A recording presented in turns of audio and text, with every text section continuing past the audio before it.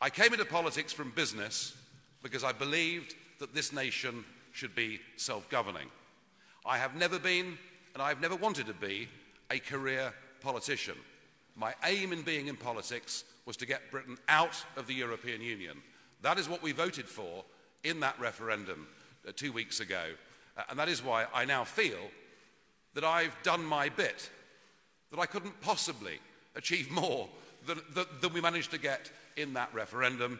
And so I feel it's right that I should now stand aside as leader of UKIP. I will continue to support the party. I will support the new leader.